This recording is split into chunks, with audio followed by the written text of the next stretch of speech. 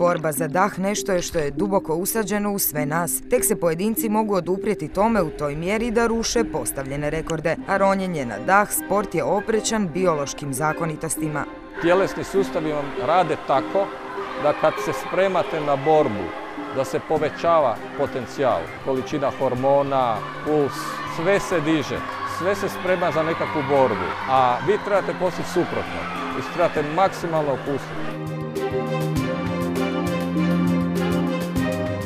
Sportu je uvijek pomicanje granica. Na dah su obično ljudi koji su zaljubljeni u more, dupine, takve neke fore. Meni je ronjenje dah isključivo natjecanje i sportska disciplina i ja to radim i treniram sve za onih 30 sekundi nakon što izroniš iz svog zarona na svjetskom prvenstvu, iskužiš da si srušio svjetski rekord i postao svjetski prvak. Goran se natječe u raznim disciplinama. Trenutačno je najbolji ronilac na dahu svijetu. Njemu je pošlo za rukom ono što još nikome nije. Šest puta je bio svjetski prvak u bazenskim disciplinama. Također je jedini osvojio sva tri zlata na jednom svjetskom prvenstvu. Tri puta rušio je svjetski rekord. Onih 30 sekundi koji su apsolutnog i potpunog zadovoljstva, neki osjećaj koji je teško opisati nekom koga nije iskusio. Inspiriran filmom Veliko plavetnilo prije osam godina počeo se baviti ovim sportom i od tada niže zavidne rezultate, ali i živi posebnim životom. Ovako izgleda njegova priprema prije jednog pothvata. Imaš određenu ciljenu usmjerenost treninga, znači ili je otpornost na nisku koncentraciju kisika ili na visoku koncentraciju ugljičnog dioksida uz neke specifične vježbe koje se rade tokom treninga. Za razliku od prosječne osobe koja ima kapacitet pluća od 6 litara kisika, u njegova stane 8. Dodatnim udisanjem zraka, takozvanim pakiranjem, može ih napuniti za još 4,5 litre, sve ukupno 12,5 litara kisika. Dodatno ustima poput pumpe komprimirate zrak u pluća, ukratko rečeno. Znači gutate zrak ne u želudac nego u pluća. Naravno to treba znati, to isto vještina. Tehnika je to koju su ronioci kopirali od paraplegičara koji su imali problem s disanjem. Pa tako Goran u jednom udahu s perajama preroni čak 273 metra. Drugim riječima to je 5,5 dužina bazena. Zaronio sam toliko ili odronio toliko u daljinu, sad ti možeš reći 100, 200 ili 800 metara, to je teško ljudima percipirati koliko je to i šta je to. Ne? A kad im kažeš minute i držanje daha, onda se lako poisto s time, pa onda im to nije normalno nije normalno ni otrčati 100 metara ispod 10 sekundi, ni, ni otrčati maraton za 3 sata, mislim. To su sve stvari koje nisu normalne. Samo to ljudi ne mogu principirati na taj način na koji mogu principirati ovo.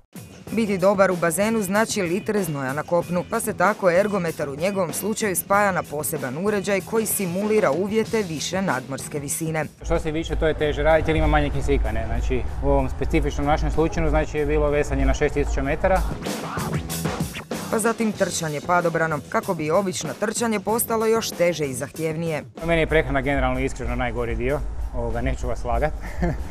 Tako da vam je to najteže paziti na prehranu. Ja sam ti ono ko žena u PMS-u, samo čokolada. tako da volim slatkiše svih oblika i svih vrsta, tako da to mi je najteže. A onda vježba koja na izgled djeluje vrlo jednostavna, ali izraz lica govori sve. Ja volim kukat, znači, meni je to neki ispušni ventil tokom treninga. Ja stalno govorim ne mogu više, umrijeću, ali uvijek odradim trening do kraja, ne, samo što volim kukat, pa onda tako vičem bez veze. Osim fizičke kondicije i psiha mora biti na vrhunskoj razini. Mir i staloženost najteže je postići, zato odmor vrijedi gotovo kao i sam trening. Gledam telko, čitam knjigu, igram šah, nešto, neko čivanje, bez veze jer kada cijelu godinu provedete u avionima i po hotelskim sobama, vlastita kuća postaje najbolji prijatelj. To nije sport u kojem ćeš ti potpisati ugovor s nekim klubom, pa ćeš onda biti osiguran i dobivat ćeš plaću bez obzira na sve. Tu u principu živiš ono od, ono, od dana do dana, od godine do godine. Ovisiš totalno o svojim rezultatima. Ali postoji mjesto u kojem nije prvi, a to je kuhinja. Najomraženija mu je disciplina, kaže. Generalno znam kuhati ovoga, sad koliko je to dobro o tom potom, ali sam ljen i ne da mi se, to je, to je problem. Znači imaš ugljikohidrate, sad malo proteina. I to ti to, mislim ne izgleda fino, ali u principu je čak ok. Tjedan dana prije samog pokušaja obaranja rekorda radi se generalna proba. Sve bi trebalo biti obećavajuće kao dodatna motivacija za uspjeh. Najveći remetrični faktor su imperativi. Znači, neko mu je rekao moraš, Trener mu je rekao, djevojka, svi očekuju od njega, a najgori je imperativ sam sebi kad kaže. Kad si zacrta, ja ću danas napraviti svjetski rekord. Taj dan ga može zaboraviti.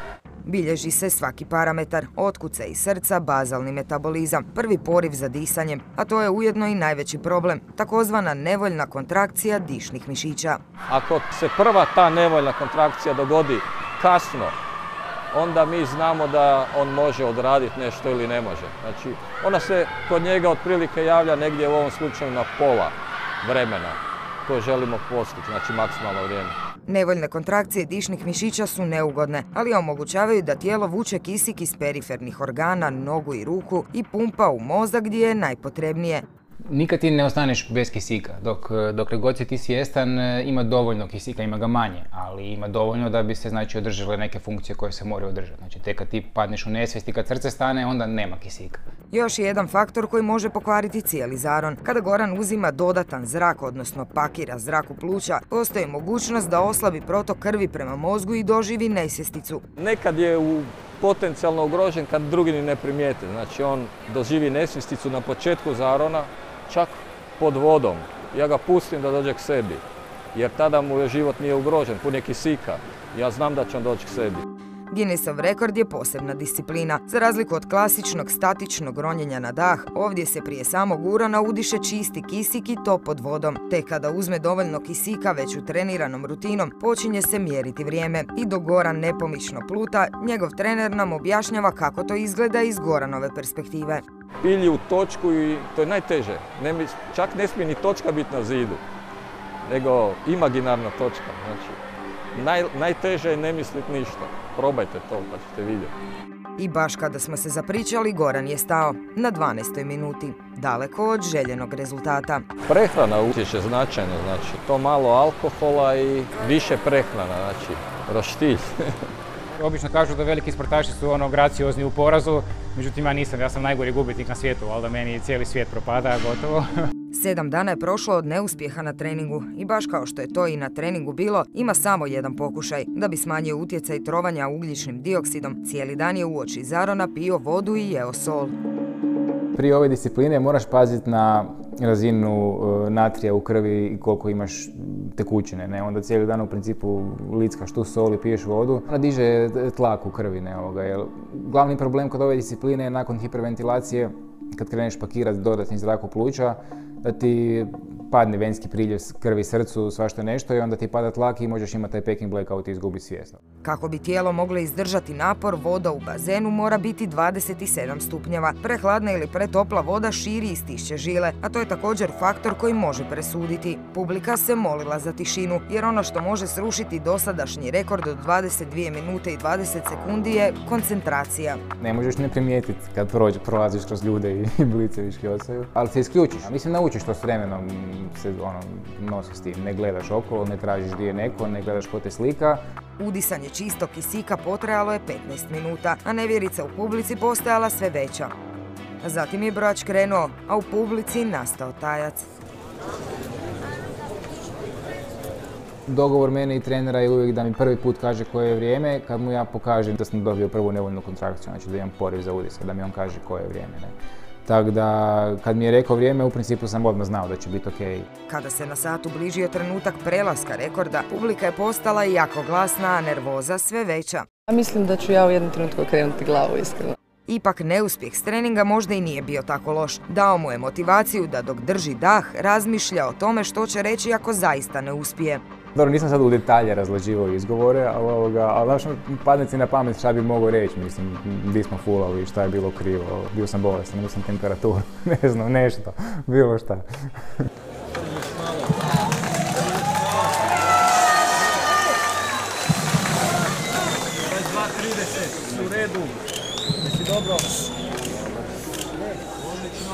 I kada je već prešišao cilj koji je stavio pred sebe 22 minute i 30 sekundi, nije vadio glavu iz vode. Odlučio je izdržati do maksimuma. 23.